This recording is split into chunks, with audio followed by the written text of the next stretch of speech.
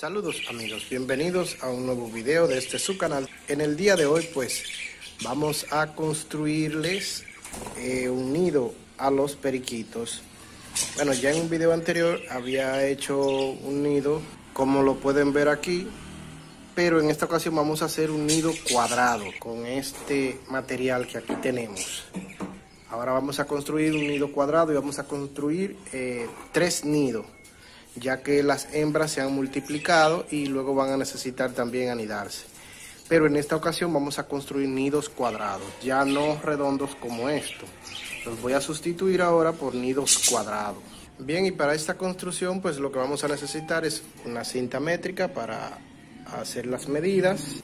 También vamos a necesitar una tapa como esta, esta tiene 3 pulgadas de diámetro, con esta vamos a hacer eh, el agujero para que ellos entren al, nido y vamos a necesitar tres deslizadores. Esos tres deslizadores los voy a usar para enumerar, ya van a ver más adelante cómo, para enumerar las bocas de, de, cada nido. También vamos a necesitar esta bisagra. Con esta bisagra pues le vamos a hacer una puertecita en la parte trasera para que podamos limpiar los nidos y también sacar los, los, ya los pichones cuando ya estén grandes y me gusta esa bisagra porque estas se cierran automáticamente solas. Como pueden ver, tienen cierta presión que pues hará que la puerta se cierre sola sin tener que atascarla con algo. Estas bisagras me gustan mucho porque tienen una forma de retracción automática, lo cual no tendremos que ponerle ningún tipo de cierre a la puertecita, sino que se cerrará automáticamente. Y bueno, las medidas, las medidas que tendrá dicha, dicho nido pues será eh, lo, he sacado en este cartón para luego ponerlo acá y solamente marcarlo y ya está listo así andaremos más rápido. También para esto vamos a necesitar dos piezas como esta que sean de 12 centímetros por 6 pulgadas. 12 eh, centímetros por 6 pulgadas. Como pueden ver aquí. Eh, vamos a necesitar también recortar dos piezas como esta. También dos piezas como esta 15 por 6 pulgadas. Vamos a recortar eh, dos piezas como esta, lo que vamos a hacer es ponerla acá y marcarlo con un lápiz todo alrededor. También vamos a necesitar dos piezas como esta, 8 por 15. Esta será de 8 por 15 pulgadas.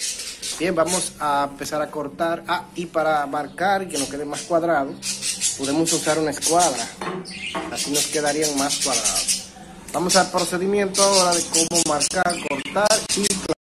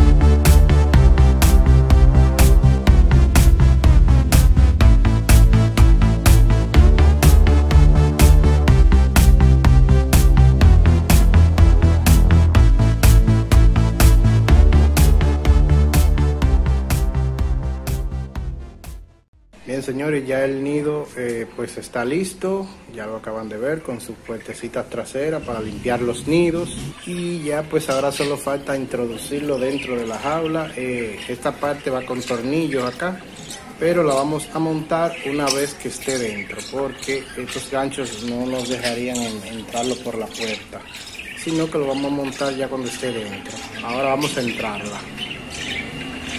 Bien, como pueden ver ya lo he montado lo he atornillado por acá con esos dos tornillos. Aquí también lo atornillé. Y ahora solo falta ya colocarle el, el apoyapié de los donde va el macho a apoyarse para darle asistencia a la hembra. Esta se la vamos a colocar ahora con dos tornillos. Y quiero que vean por la parte de atrás cómo ha quedado miren cómo quedó atrás. Aquí están las puertas. Es un poco dura que es lo ideal que queden así para que no se abran tan fácilmente. Y aquí ya tenemos acceso a limpiar el nido eh, a chequear los polluelos los pichones cuando tengan algún problema y también darle mantenimiento al nido. Y ahí la cerramos. Aquí la otra. Como lo pueden ver ha quedado de maravilla Bien, ahí ya está terminado. Ahí le he colocado los ganchos para el macho posarse. díganme y coméntenme qué le ha parecido este nuevo nido. Eh, cabe destacar que este de este lado también lo voy a hacer cuadrado como este. Solo que este lo voy a hacer con la mitad de las dimensiones de este porque este será solamente uno solo. Y este pues son dos nidos. Este también lo voy a hacer como este, con el mismo principio que hice este, voy a hacer este también. Ella está anidada ahí con tres, ya están prácticamente grandes. Lo voy a pasar para el nuevo nido que le voy a hacer. Aquí están los deslizadores de lo que les había comentado, los enumeré. En caso de que tengan un aviario bastante grande, los cuales tengan que colocar varios nidos, pues enumerarlo sería una una buena solución para darle mantenimiento a cada, a cada niño. Bien, y ahí están ya las casitas completadas. La de este lado la sustituí por el higuero y miren cómo han quedado. Aquí está ella con sus, con sus respectivas crías. La ven allá adentro. Le ha gustado mucho y se han adaptado rápidamente. Coméntame y dime qué tal ha quedado estos nuevos nidos. No olvides suscribirte y darle like a mis vídeos. Nos vemos en una próxima entrega.